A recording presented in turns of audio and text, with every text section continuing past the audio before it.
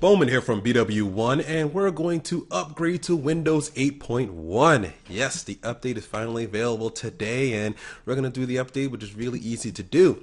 We have to start off here in the start screen, so this is where you want to start off at. If you haven't started off there yet, and you're here in the desktop mode, you just got to go down to the left corner here, highlight start, brings you up here to the start screen, and then from there, we want to go into the Windows Store.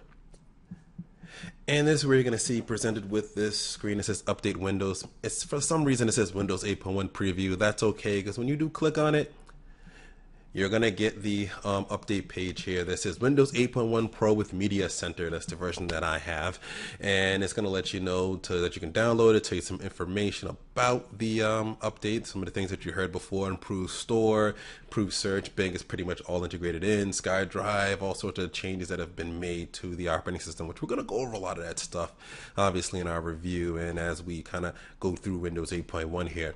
So um, the download size is 3.42 gigabytes. So it's going to take some time for the download. No matter what kind of connection that you're on, it's going to take a little bit of time here. It can take anywhere from 15 minutes to an hour, depending upon your connection speed, of course. So we're going to go ahead and hit download here. You don't have to worry about your files or anything. Everything's not, nothing's going to get formatted or anything like that. But as always, you want to make sure you back up your stuff just in case of anything. You should always have backups in more than one place. So let's go ahead and hit download and you're going to see install here you're going to see this meter. Sort of go across it says windows 8.1 with media center edition. If you have windows 8 it's just going to say windows 8.1 on it instead. It's beginning the download phase so we're going to go ahead and let it do that and go through that process right now. And then we'll come back once we have everything upgraded and ready to go Okay, after that long and lengthy download, it's like I said, it's going to take anywhere from 15 minutes to I think up to almost two hours now for that download to happen. But once the download happens and it starts the installation and it does the installation, it's going to reboot your computer probably about three or four times or so.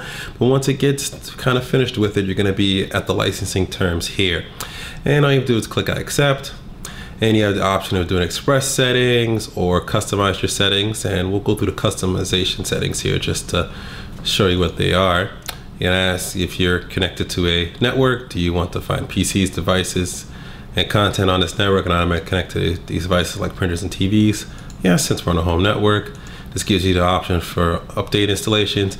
I wish they had brought back the option for downloading, but notify you when to install, so that would be a lot easier. But now all they do is just give you two automatics and don't set up, which is I don't really like that. I wish they really had changed it back to the way it used to be on Windows uh, 7, where you had the option to download but notify.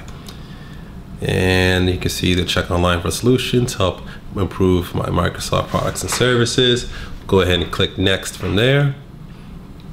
If you want to share info, just next, we'll just leave it on default for now. Um, you can sign it to your Microsoft account, so I'll go ahead and do that. Okay, you can see here we have everything set up to go let's go on ahead and uh, go through the next parts of it here, which is uh, SkyDrive now integrated into your Windows uh, 8.1 operating system fully. There's no separate desktop application. It's built in with the OS and it's automatically turned on. Your camera roll and all PC settings will automatically be backed up to the cloud and new documents you create will be saved to the SkyDrive by default. Then we can get them from any device even if something happens to your PC. So you can leave this on or you can turn it off, turn these off if you don't want SkyDrive settings on if you don't use SkyDrive leave it on for All now. Right, we're finally updated to Windows 8.1. One of the first things you probably notice here is the background on my start screen. The background on my start screen now matches the background that's on my desktop. So um, that's one of the features available in Windows 8.1 is being able to use your own wallpaper for the start screen. Definitely check out the video that we did showing you how to do that. That's a quick tutorial and definitely worth watching. And um, some of the other enhancements that we get is uh, we get the nice start button back here. It's right here and available. You just click on that and it brings you back to the start menu here. And you can do a little off more things on it if you right click on it now. You get mobility center, power options, programs and features, command prompt, computer management, more power tools when you sort of uh, uh, right click on it. You can also shut down or sign out right from there as well too, instead of having to go to the charms.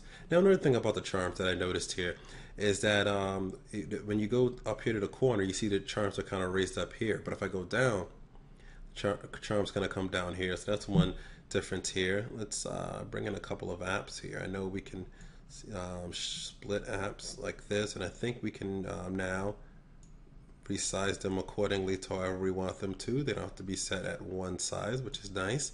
Let's see if we can add another app uh, available here. I think we can add, uh, let's add a new section here. And I can decide where to put that. We'll put that right there for now. I think I can move this in between the two. All right. And I don't know if I can bring a third one, and I think I can somewhere. There we go.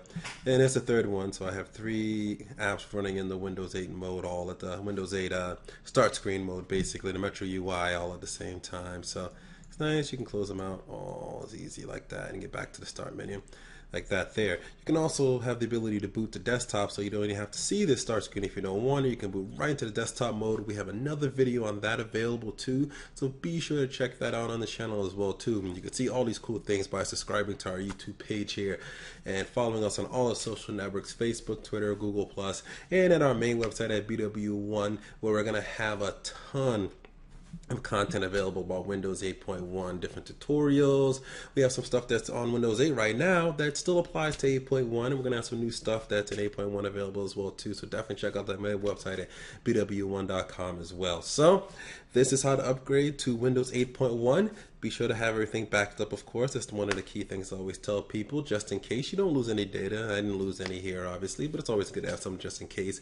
You're probably gonna want to set aside about anywhere from two to four hours to do this update because it's got to download it, install it, and reboot and do a few different things there. So be sure to have some time to be able to do that. But other than that, upgrade and enjoy all the new features of Windows 8.1. And always remember to live your tech world in high definition.